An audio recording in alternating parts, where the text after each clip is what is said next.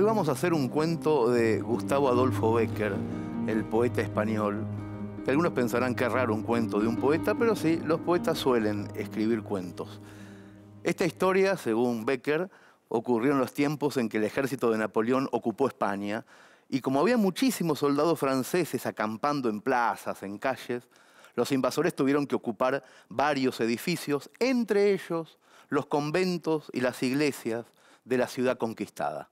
Una de esas noches llegaron unos 100 soldados franceses más, exhaustos y con ganas de dormir. Al mando de la tropa venía un capitán muy joven. Cuando llegaron a la plaza principal, un oficial fue a recibirlos y lo primero que el capitán le preguntó fue dónde iban a dormir. El oficial le dijo que la ciudad estaba atiborrada de soldados y que el único lugar disponible para pasar la noche era una iglesia un poco venida abajo, le dijo, a las afueras de la ciudad.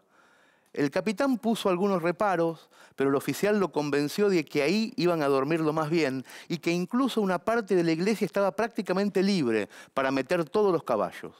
Como no había más alternativa, el capitán y su tropa avanzaron por las callecitas oscuras de la ciudad y llegaron hasta esa iglesia, a la que encontraron completamente desmantelada.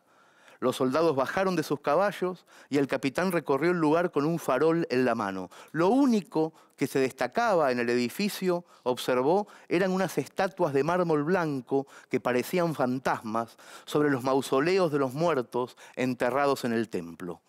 La jornada había sido larga, habían recorrido 14 leguas a caballo y como el cansancio era más fuerte que la precariedad del lugar, al rato se dejaron de escuchar las protestas y poco a poco el silencio y los ronquidos se fue apoderando de ese cuartel improvisado. Al día siguiente, el capitán volvió a la plaza donde lo esperaban algunos compañeros de promoción.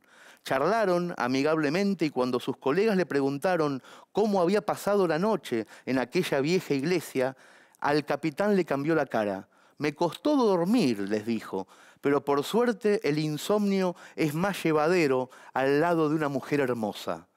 Los oficiales lo miraron raro. ¿Era posible que a la primera noche ya hubiera tenido este hombre una aventura amorosa? Le pidieron detalles, entonces el capitán les dijo que había pasado toda la noche al lado de una mujer bellísima. Por un momento les confesó, había pensado que era una alucinación producida por el cansancio, pero no, ella estaba ahí, hermosa y serena. Pero al final les dijo, pícaro, es una estatua de mármol sobre una tumba, es la réplica de una mujer que descansa ahí. Y sus colegas franceses estallaron en carcajadas. Pero está tan bien hecha que parece viva, les aseguró el capitán. Si es tan hermosa, nos gustaría conocerla, dijo uno de ellos. Está complicado, dijo el capitán, porque arrodillado a su lado hay una tumba con otra estatua de mármol, la de un guerrero que parece estar tan vivo como ella y que debe ser su esposo. Supongo que a él no le va a gustar que se las presente. ¿Por qué no va igual, por favor, llévenos. Y entonces el capitán lo llevó. Los soldados volvieron a reír y quedaron en verse esa noche en el templo. Cuando llegó la hora, el capitán los recibió en la puerta de la iglesia. Como estaba oscuro, mandó a uno de sus asistentes a hacer una fogata con la que encontrara y todos se sentaron a tomar vino al lado del fuego. Cuando estaban lo suficientemente borrachos, se pararon todos frente a la estatua de la mujer y entre chistes y reverencias el capitán les dijo, mírenla bien, debe haber sido una de las mujeres más hermosas de su época. La fiesta siguió cada vez más descontrolada. Los oficiales abrían una botella tras otra y después de vaciarlas la tiraban contra las paredes de la iglesia hasta que en un momento el capitán alzó su copa frente a la estatua del guerrero, del esposo de la bella mujer, y brindó por Napoleón, que le había permitido, dijo, venir a España a conocer a la esposa. Se llevó vino a la boca y escupió en la cara de la estatua del guerrero. Mientras sus amigos se alejaban, hacia la salida, entre risas, cada vez más borrachos, el capitán regresó tambaleante hasta la estatua de la mujer y le susurró al oído, Solo un beso puede calmar lo que yo siento. Y cuando estaba a punto de besarla, el capitán gritó de dolor. Los oficiales frenaron en seco y giraron para ver qué había pasado.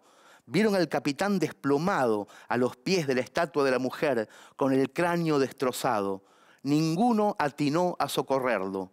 pero en la penumbra del templo todos pudieron ver que el brazo del guerrero, con su guante apretado de piedra, se había movido levemente de su posición original.